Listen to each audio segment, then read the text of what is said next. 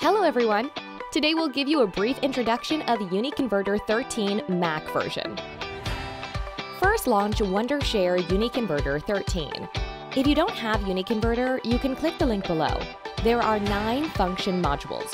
The first one, Home section. You can see the value-added features, the favorites, and the highly recommended features. In the Converter section, you can convert video and audio files to different formats easily and we support over 1,000 video and audio formats. In the video compressor, you can easily control the compressed video size or choose the bitrate, different format, and different resolution. On the video editor, you can trim video, add watermark, crop video, add video effect, add subtitle, and adjust audio. On the merger section, you can join two or more media clips into one, or you can choose different output formats. On the screen recorder, you can record a computer screen, record a webcam, and record audio. In the DVD burner, you can easily burn videos to DVD.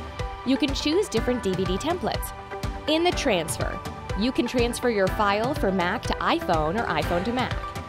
In the video player, you can play different video and audio files, switch subtitle and audio tracks, and take screenshots. In the toolbox, you can find more useful tools. It includes Subtitle Editor, Smart Trimmer, Watermark Editor, Image Converter, GIF Maker, Fix Media Metadata, Transfer, CD Burner, CD Ripper, and VR Converter. More tools coming soon. Thank you for watching our tutorial videos. Don't forget to like the video and subscribe to our channel. Click the link in the description to try Wondershare UniConverter for free. See you in the next video.